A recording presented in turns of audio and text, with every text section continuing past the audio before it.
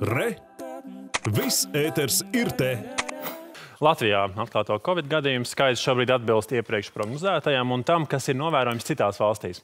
Tāpat noteikti ir sagaidāms stacionēto Covid pacientu pieaugums slimnīcās. Vakar tajā ārstējās 929 vīrusu skartiem. Par to, kad varētu mazināties vīrusu izplatība Latvijā un kādu ceļu iet ar valstīm noteiktajiem ierobežojumiem. Šorīt plašāk saruna ar slimību profilaks un kontrols centra infekcijas slimību riska analīzes un profilaks departamentu direktoru Juriju Perevoščikovu. Labrīt! Labrīt! Labrīt! Ja mēs runājam par omikronu pieaugušo izplatību mūsu valstī un ar to kopējo saslimstības līmeni Latvijā, cik sarežģīta šobrīd ir pie mums situācija, jūsuprāt? Mēs turpinām monitorēt situāciju katru dienu, uzraudzīt pēc galveniem radītājiem. Un pirmais radītājs, kuru parasti visi zina un seko caur masu medijiem, radītais testu, veiktu testu skaits. Testu skaits mums ir pēdējā laika ir stabilizējies, vairs nav pieaugumā. Tas nozīmē, ka sasniegts maksimālais principā, maksimālā kapacitāte, kuru var nodrošināt laboratorijas, un slimnieku skaits ir tomēr, tomēr diemžēl daudz lielāks. Līdz ar to gadījumu skaits, kuru mēs pašreiz novērojam, pēdējo septiņu dienu laikā nav mainījies tik strauji, kā bija iepriekš, kad bija 100% pieaugums. Pieaugums ir tikai 10, 30% salīdzinot ar to situāciju, kura bija pirms septiņām dienām. Bet, kā jau minēju, tas ir izskaidrojams ar to, ka nu, tomēr testu skaits nav pietiekams, lai uh, to lielu slimnieku skaitu uh, atklātu, konstatētu, ka šiem cilvēkiem ir um, koronavīruss. Mums ir vēl viens radītājs, ir stacionēšana. Stacionēšanā pieaug uh, pacientiem ar covid diagnozi, un uh, mēs uh, varam sadalīt stacionētu pacientu divas grupas, un viena no grupām ir tie pacienti, kuriem pamata diagnoze, kāpēc pacients ir nonācis slimnīcā, ir covid. Š, šīs uh, radītājs principā pieaug, bet pieaug pietiekami lēni. Mēneša laikā šādu pacientu skaits slimnīcās nu, tikai pieaudzis apmēram par 80 cilvēkiem. Savukārt tie pacienti, kuriem Covid nav pamata diagnoze, kuriem šis vīrus ir konstatēts pie citas diagnozes, šo pacientu skaits mēneša laikā ir pieaudzis faktiski četras reizes.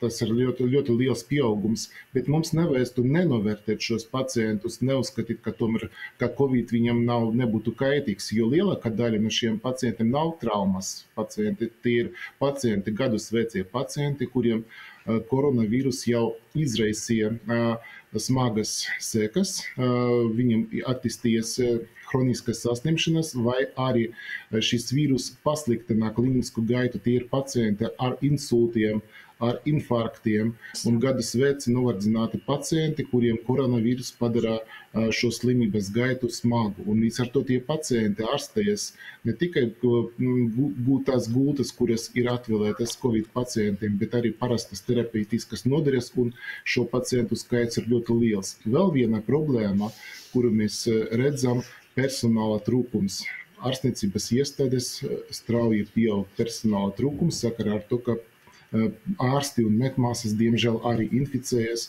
un ir spēsti, spiesti atrasties mājās, tāpēc, ka ir slīmi.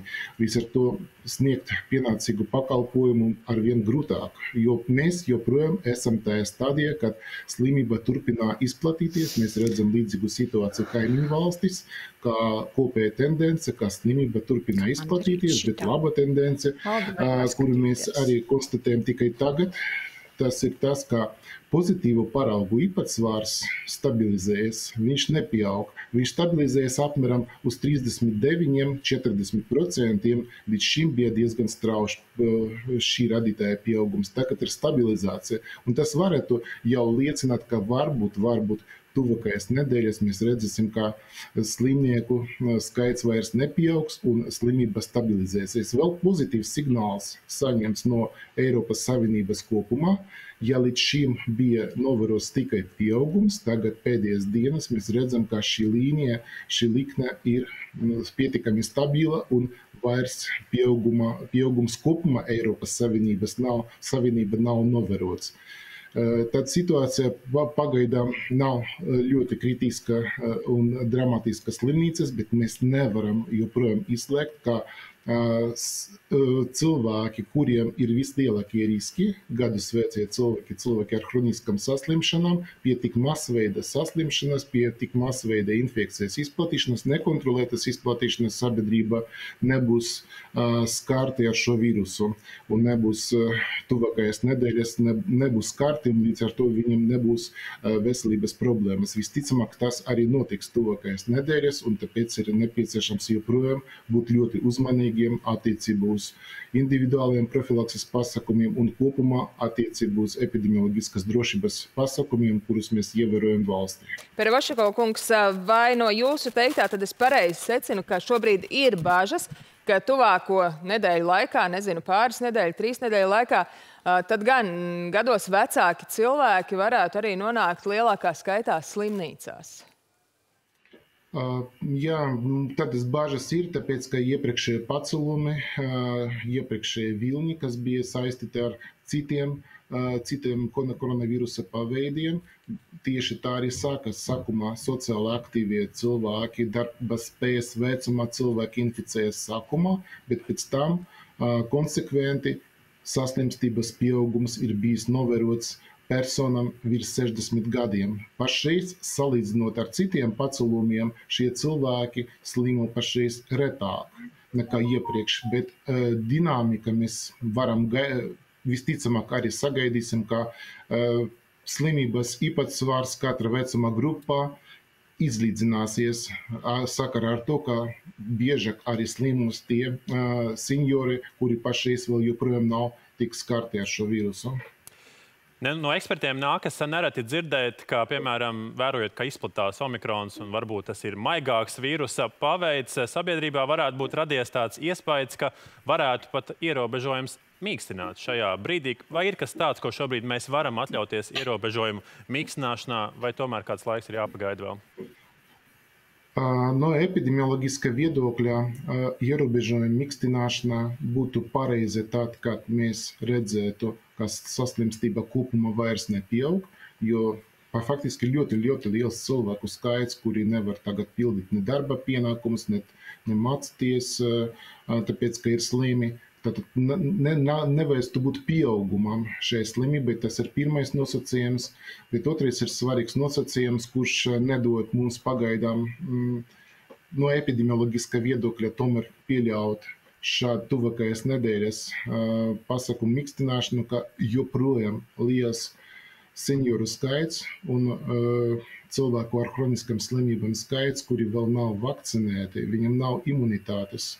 Mēs runājam ar kolēģiem no citām valstīm, piemēram, pirms divām dienām es pirmais jautājums, kad es zvanu uz Kopenhāgenu kolēģiem, viņi pajautāja, nu kā jums iet ar šo pasakumu atvieglošanu. Pirmā atbilde, ko viņi teica, viss ir normāli mums ir seniori labi vakcinēti. Mēs nesagaidīsim problēmas veselības aprūpes sistēmas, mēs nesagaidīsim ar to lielu nāves gadījumu skaitu.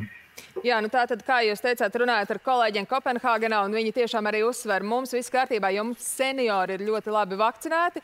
Šis ir tas um, sāpīgais jautājums Latvijā, jo projām gana daudz nav vakcinēti, gana daudz arī ir uh, vakcinēti, teiksim, tikai ar vienu šo Johnsona poti. Uh, kas eh, nav tik efektīva, lai novērstu hospitalizāciju. Balstu vakcīnu pat labāk Latvijā saņēmuši nu, aptuveni ceturtā daļa no Latvijas iedzīvotājiem. Tā liecina dati. Cik šobrīd svarīgi, kā jūs teiktu, ņemot vērā omikrona izplatību, ņemot vērā arī to, ka delta joprojām arī plosās, nekur jau nav pazudusi, ir vakcinēties, ir saņemt balstu vakcīnu, un vai šobrīd vīrusam plosoties ir droši vakcinēties? Vakcinācija, principā, neviena infekcijas slimība un nevienas infekcijas slimības izplatīšanas nav kontraindikācija vakcinācijai. Vakcinēties vajadzētu savlaicīgi, bet ja savlaicīgi nav veikta vakcinācija, vienmēr ir vērts to veikt, arī pat uzliesmojuma laika, tāpēc, ka imunitāte var to apsteigt, to ļaundabīgu darbību vīrusa, ko, kad cilvēks inficēsies. Kontraindikāciju nav, veselības kontraindikāciju nav šajā gadījumā. Šeit vajadzētu domāt, un tomēr tie cilvēki, kuri vēl joprojām nebija vakcinēti, apsver šādu iespēju un pasargāt sevi caur vakcināciju.